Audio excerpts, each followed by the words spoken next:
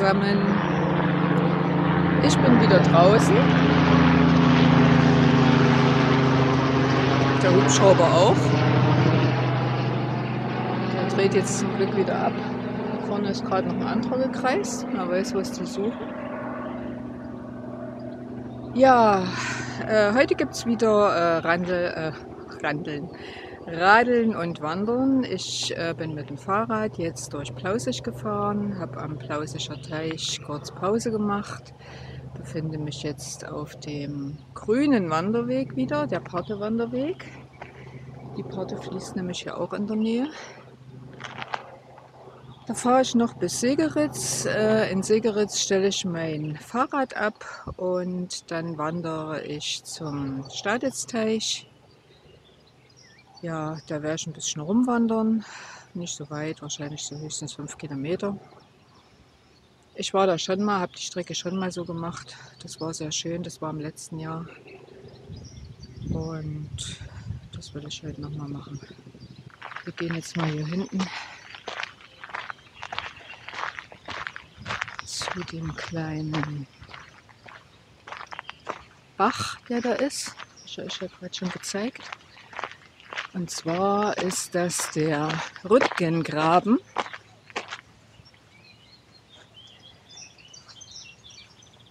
Ich drehe euch mal.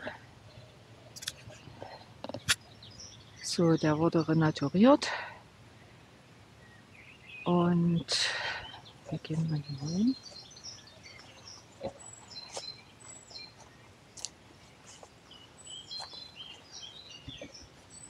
Ja, das ist so ein kleiner Bach, der hier lang fließt. So, jetzt geht es hier weiter. Ich steige jetzt aufs Fahrrad und fahre jetzt bis Segeritz.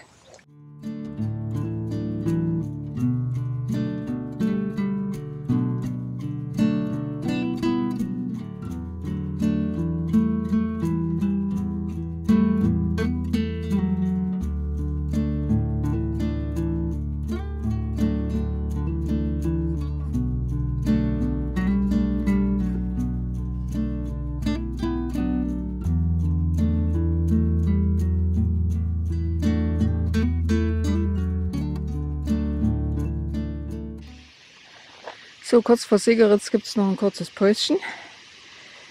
Ja, und was soll ich sagen? Irgendwas vergisst man immer. Heute ist es mein Dreibein. Ja, hier gibt es ein kleines Kunstobjekt. Das heißt, man kann durch dieses Stahlfenster die Landschaft bewundern. So, ich bin jetzt in Segeritz angekommen. Seit ich das letzte Mal hier war, hat sich einiges getan. Die Bänke sind neu, die Fahrradständer sind neu. Es gibt eine schöne Informationstafel. Hier gibt es einen schönen Teich. Vorne ist ein Kinderspielplatz und ich gehe dann jetzt hier hinten den Weg weiter, nachdem ich mein Fahrrad noch angeschlossen habe. So, der Rucksack ist gesattelt, das Fahrrad ist angeschlossen. Ich stehe jetzt hier vor der neuen Informationstafel und das haben sie richtig schön gemacht. Hier ist die Geschichte von Segeritz dargestellt.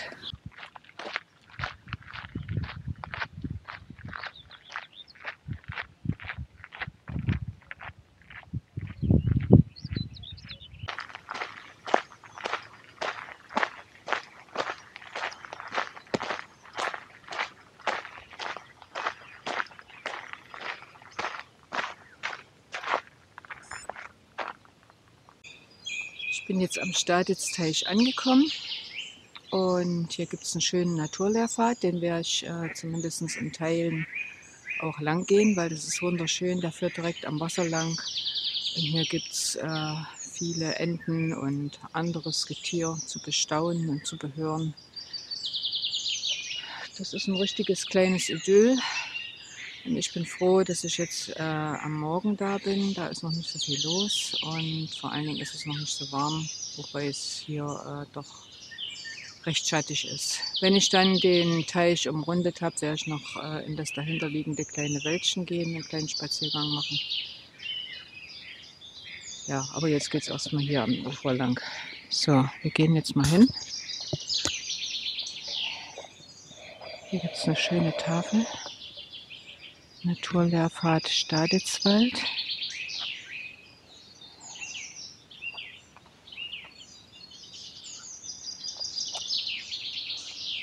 So. Und hier holen wir uns jetzt mal den ersten Eindruck.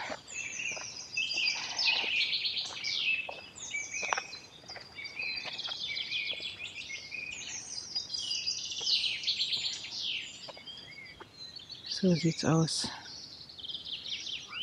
Natur pur.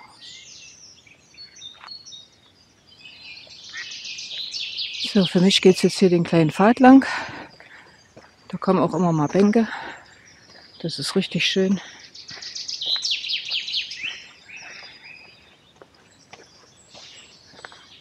Und ich freue mich auf einen richtig gemütlichen Tag.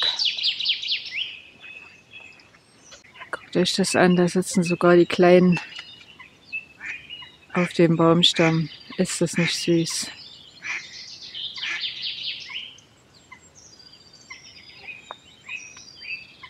So schön.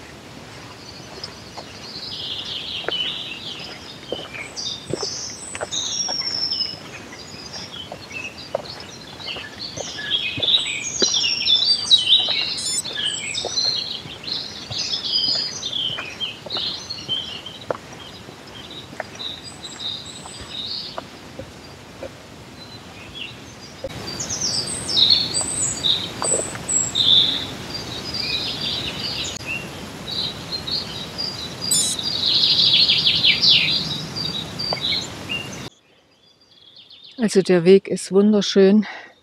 Ich bin ja damals nur äh, ein Teilstück lang gegangen, das heißt, hier war ich noch nicht. Also ich kann nur sagen, sehr zu empfehlen.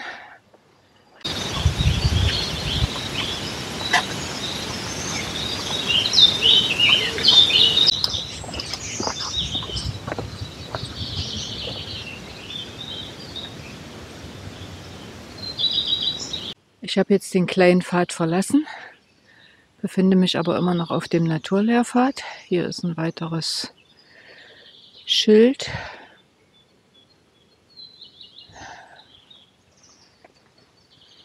Ja, ich weiß gar nicht, wie weit, äh, wie viel Kilometer der Naturlehrpfad ist, aber ist auf alle Fälle sehr schön. Und ich gehe den einfach mal weiter, ganz spontan. Und guck mal, was passiert.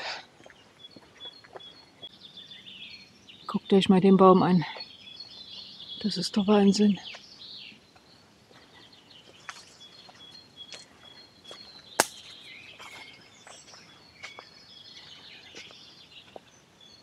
Boah, ist der groß.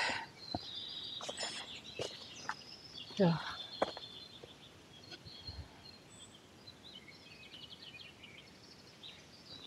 Imposant. Wie die Rinde so gedreht ist. Herrlich. Oh, es sind überall Spinnweben und Tiere. Ich muss hier wieder raus. Ja, das ist halt der Nachteil, wenn man in so einem naturnahen Gebiet rumhirschelt, dass natürlich die kleinen Biester auch überall sind. Und da heißt es dann danach immer Zeckensuche.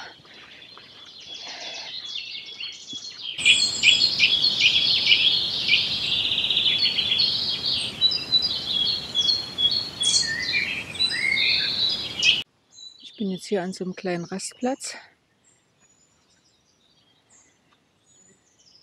Da gibt es Baumscheiben von den unterschiedlichsten Bäumen und die Rinde dazu. Sehr schön. Dann noch die Blätter. Dann gibt es hier noch ein Klangspiel.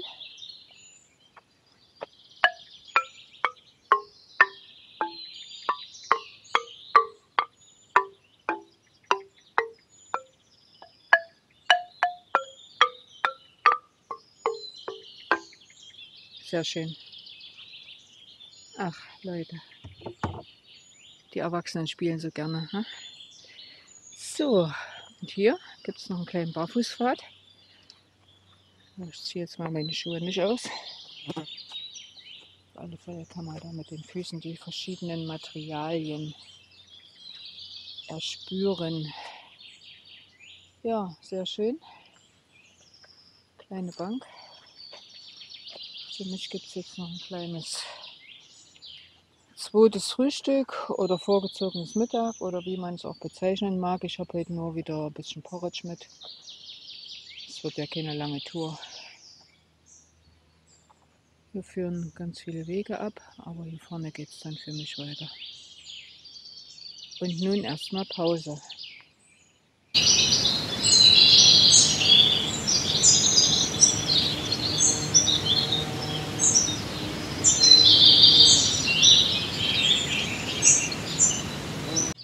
Gibt ja jedes Jahr irgendeine Plage. Schaut euch das mal an. Lauter kleine grüne Käfer. Alles voll.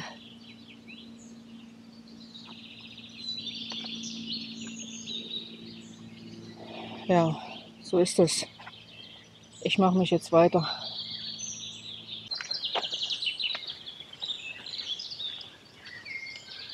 Hier gibt es sogar eine Tafel über Wolf und Fuchs. Naja, den werden wir heute nicht begegnen. Ne? Ich habe jetzt den Naturlehrpfad verlassen, weil der führte jetzt wieder zurück und da hatte ich gerade mal zwei Kilometer äh, auf der Uhr und bin jetzt äh, hier auf dem Lutherweg. Und der Lutherweg geht jetzt hier in diese Richtung weiter. Dem werde ich jetzt noch ein Stück folgen. Und dann werde ich mal gucken, äh, wann ich wieder umdrehe oder ob ich noch eine kleine Schleife mache oder wie sich das alles so ergibt. Das wird schon irgendwie werden.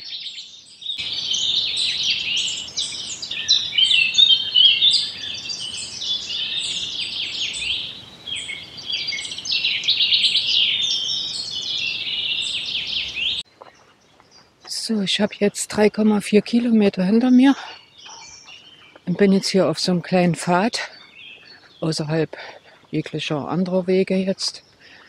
Ich laufe jetzt hier einfach quer lang, bis ich wieder auf den großen Weg komme. Und dann gehe ich den wieder vor Richtung Segeritz. Ja, die Tour ist richtig schön. Es ist ruhig hier. Und theoretisch sollte hier eine Bank kommen. Tatsächlich hier ist sie. Ja, aber nicht so schön, wie ich sie erwartet hatte. Ich dachte, die ist richtig am Feldrand.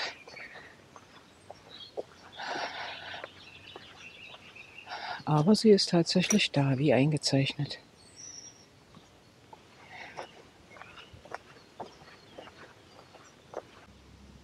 So, ich glaube, ich bin jetzt wieder auf diesem Naturlehrpfad. Zumindest steht hier wieder so eine schöne Tafel. Greifvögel im Parteland. Und hier ist eine Bank. Und man schaut aufs weite Feld und sitzt nicht im Wald und wird nicht zerstochen oder anderes Getier krabbelt auf einem rum. Hier gibt es noch mal eine schöne Pause. So, ich melde mich noch mal. Ich bin jetzt auf dem Rückweg. Und so wie der Weg jetzt ist, das sind eigentlich meine Lieblingswege. Du hast auf der einen Seite Wald und auf der anderen Seite hast du äh, Felder oder Wiesen und hast den Blick in die Ferne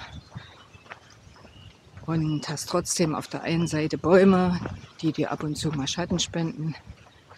Das ist absolut, also so mag ich es eigentlich am allerliebsten. Ja, mich geht's jetzt, ja, geht's jetzt hier runter oder nee, ich gehe nicht hier runter. Ich glaube, da komme ich dann wieder auf die andere Seite. Ich will eigentlich hier bleiben. Die Beschilderung, die lässt hier auf der Seite ein bisschen zu wünschen übrig, aber okay, das ist nicht so schlimm. Ja, ich verabschiede mich schon mal. Das werden dann so äh, sechs Kilometer Gehweg gewesen sein. Dann noch mal neun Kilometer mit dem Fahrrad zurück nach Hause. Und dann war das wieder ein richtig schöner Tag draußen. Macht's gut.